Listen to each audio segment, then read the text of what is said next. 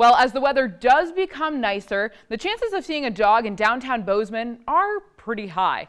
Oftentimes, you may see a dog tied to a light post or something else outside of a storefront, and it's actually not allowed within the city of Bozeman. The city has an ordinance that owners cannot leave their dog unattended at any time. If animal control sees this occurring, it's something that you can receive a citation for. Um, we do our best to go in and find you in a restaurant or a store, say, please come out and attend to your animal. Um, if we cannot find you, then we can impound that animal for safekeeping until you come forward. Fowler says the exception to this is if you are eating at a restaurant with outdoor seating and your dog is close to you on the other side of the fence.